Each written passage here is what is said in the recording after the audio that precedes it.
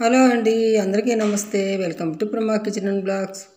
అందరూ ఎలా ఉన్నారండి? నేనైతే చాలా బాగున్నాను. ఈరోజు మనము మిన్నపొడలు అలాగే ఆలు కర్రీ చేద్దామండి. చేస్తే మనకి ఇలా ఉంటుందండి చాలా బాగుంటుంది. రెండు కలిపి చేసుకుంటే ఈ కాంబినేషన్లో చాలా బాగుంటుంది అనమాట అలాగే నేను మిన్నపొడలు ఒక నాలుగు తీసుకున్నాను.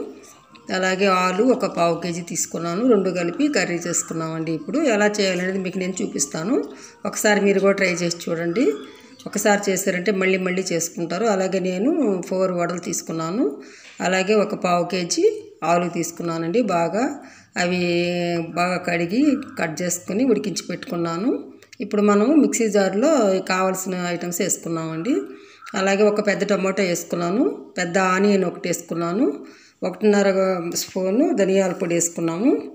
అలాగే కొంచెం జీలకర్ర యాడ్ చేసుకున్నామండి. జీలకర్ర ఒక పావు స్పూన్ యాడ్ చేసేసుకున్నాము. ఇందులో అయితే నేను కొబ్బరి కానీ ఏమి వేయను. ఒక ఒక పావు ఒక పావు స్పూను జీలకర్ర యాడ్ చేసుకున్నాము. అలాగే మిరియాలు ఒక పదిహేను వరకు వేసుకున్నాము. ఇప్పుడు ఇది మనం మిక్సీ పట్టేసుకొచ్చుకున్నామండి. కొబ్బరి కానీ ఏం అవసరం లేదు. అల్లం వెల్లుల్లి పేస్ట్ మాత్రం వేసుకున్నాము. అలాగే మిక్సీ పట్టేసుకున్నాము. అలాగే ఇప్పుడు స్టవ్ వెలిగించి బాండలు పెట్టుకుని ఒక మూడు స్పూన్లు మాత్రం ఆయిల్ వేసేసుకున్నామండి.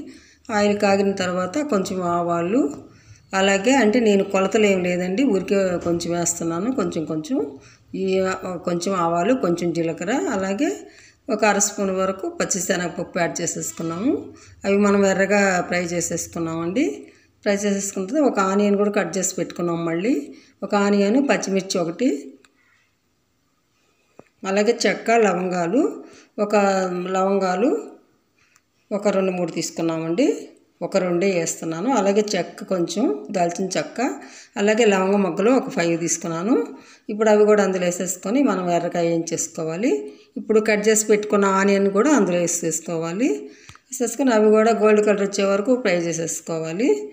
మనం ఇలా చేసుకున్నాం అనుకోండి ఆలు వచ్చి వడ కర్రీ చేసుకున్నాం అనుకోండి చాలా బాగుంటుంది. అలాగే పచ్చిమిర్చి ఒక టూ వేసేసుకున్నాము. అవి కూడా ఎర్ర మా పచ్చివాసన పోయే వరకు వేయించేసుకోవాలి ఇంకా టమాటా అయితే ఒకటి వేసుకున్నానండి ఇంక దీనిలో అవసరం లేదనమాట మనం ఇప్పుడు అల్లం వెల్లుల్లి పేస్ట్ కూడా ఒక స్పూన్ యాడ్ చేసుకున్నాము. ఒక స్పూన్ అండి. చాలు. నేనైతే ఇందాక మిక్సీకి వేసుకున్నాం కదా ఆ పేస్ట్ కూడా ఇప్పుడు ఇది కొంచెం వాడిన తర్వాత ఆ పేస్ట్ కూడా ఇందులో యాడ్ చేసేసుకున్నాము. మొత్తం పచ్చివాసన పోయే వరకు ఫ్రై చేసేసుకోవాలి. అలాగే అల్లం వెల్లుల్లి పేస్ట్ అయితే నేను ఇంట్లోనే రెడీ చేసి పెట్టుకుంటానండి. ఎప్పుడు ఇంట్లోనే ఉంటుందన్నమాట. నేను ఎక్కువగా అల్లం తీసుకొచ్చుకొని అలాగే ఎల్లుల్లి కలిపి పేస్ట్ చేసి పెట్టుకుంటాను కాబట్టి రెడీగా ఉంటుంది. అలాగే ఇప్పుడు మనం చేసుకున్న పేస్ట్ కూడా ఇందులో వేసేసుకున్నాము. బాగా బాగా ఫ్రై చేసేసుకోవాలి. మనకి బాగా నీరంతా పోయి ఆయిల్ తేలే వరకు మనం బాగా ఫ్రై చేసేసుకోవాలి. పచ్చివాసన కూడా పోవాలండి. పోతే మనకి కర్రీ అనేది టేస్ట్ వస్తుంది అనమాట ఇప్పుడైతే ఒకటి బాతికి స్పూను కారం కూడా యాడ్ చేసుకున్నాము. కారం కూడా మనం ఇప్పుడు వేసేసుకున్న తర్వాత పసుపు ఒక కాలు స్పూన్ మాత్రం యాడ్ చేసుకున్నాము. అలాగే సాల్ట్ కూడా కొంచెం వేసేసుకున్నామండి. నేనైతే ఆలులో కూడా కొంచెం సాల్ట్ వేసి బాగా బాయిల్ చేసుకుంటాను. అవి అందులో కూడా సాల్ట్ ఉంటుంది. అలాగే వడల్లో కూడా ఉంటుంది కాబట్టి కొంచెం వేసుకున్నాము. తర్వాత తగ్గితే మళ్ళీ వేసుకున్నామండి. ఇప్పుడైతే ఇది మొత్తం ఆయిల్ మనకి పైకి వచ్చే వరకు బాగా ఫ్రై చేసేసుకోవాలి. అలాగే కరివేపాకు నేనైతే ఊరికే రెండు మూడు ఆకులు వేసాను. లాస్ట్ వేసుకున్నాము. కరివేపాకు అనేది ఎప్పుడు వాడనీయకూడదు అనమాట మనకి దానిలో పవర్ అంతా పోతుందండి.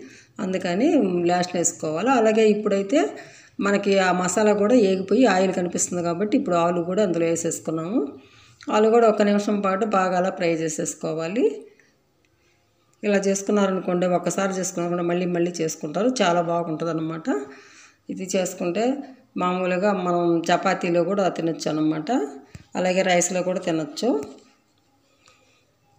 ఇప్పుడైతే మనం వడలు చూపించాం కదండి. అవి కూడా కట్ చేసుకున్నాము. ముక్కలుగా ఒక వడ వచ్చి నాలుగు ముక్కలుగా కట్ చేసేసుకున్నాము. అవి కూడా ఇందులో వేసేసుకున్నాము. మనమైతే ఎక్కువగా కలపనవసరం లేదు. మనకి ఫ్రై కూడా అవ అవసరం లేదన్నమాట. నేనైతే చేస్తానండి మినపడలు అలాగే కాకుండా మసాలాడలతో చాలామంది పులుసు చేసుకుంటారు అలాగే కర్రీ చేసుకుంటారు. నేనైతే మినపడలతో కూడా చేస్తాను అనమాట అలాగే వాటర్ అయితే ఒక ఒకటిన్నర కప్పు వరకు ఇందులో యాడ్ చేసేసుకున్నాము. సాల్ట్ అయితే తగ్గుతుందన్నమాట. అలాగే కొత్త వాళ్ళు ఎవరైనా నా వీడియో చూస్తున్నట్లయితే సబ్స్క్రైబ్ చేసుకోండి లైక్ చేయండి షేర్ చేయండి. అలాగే పక్కనే ఉన్న బెల్ బటన్ ప్రెస్ చేస్తారంటే నేను పెట్టే ప్రతి వీడియో మీకు నోటిఫికేషన్ వస్తుంది. ఇలా చేసుకున్నారంటే చాలా బాగుంటుందండి. మీరు ఒకసారి చేసుకున్నారంటే మళ్ళీ మళ్ళీ చేసుకుంటారు. చూడండి చూస్తుంటేనే ఎలా ఉందో. అలాగే ఇంకొంచెం కూడా వాటర్ యాడ్ చేసుకున్నాము. మనకి కొంచెం ఉడికితే మనకి ఆ వడ అనేది బాగుంటుందండి. అలాగే ఒక అరకప్పు పెరుగు కూడా యాడ్ చేసేసుకున్నాము. ఇప్పుడు మొత్తం బాగా కలిపెట్టేసుకోవాలి. అలాగే సాల్ట్ అయితే కొంచెం తగ్గిందనమాట కొంచెం వేసేసుకున్నాం సాల్ట్ కూడా. మనం అయితే చపాతీలో కూడా తినొచ్చండి. చపాతీలో పూరీలో కూడా తినొచ్చు అనమాట ఈ కర్రీ. చూస్తారు కదండి ఎలా చేసింది. ఒకసారి మీరు కూడా ట్రై చేసి చూడండి. మళ్ళీ మళ్ళీ చేసుకుంటారు.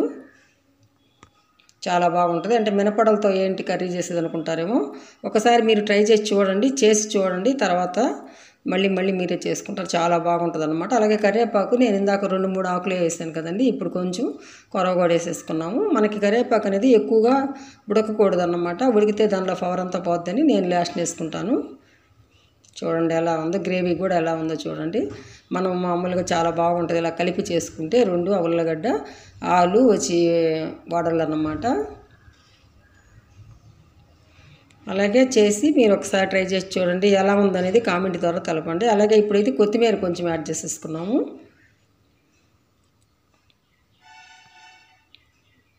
మీరు ఒకసారి చేశారంటే పిల్లలు కానీ పెద్దవాళ్ళు కానీ అందరూ ఇష్టంగా తింటారండి. చపాతీలు కూడా తినొచ్చు. ఈ కొంచెం మనం గ్రేవీ ఉండేటట్టుగా చేసుకోవాలన్నమాట. చాలా తక్కువ టైంలో అయిపోతుంది. చాలా తక్కువ ఖర్చు కూడా అండి. చూశారు కదండి ఈ వీడియో మీకు నచ్చినట్లయితే మీరు కూడా ఒకసారి ట్రై చేసి చూడండి. ఓకేనండి. Bye bye thank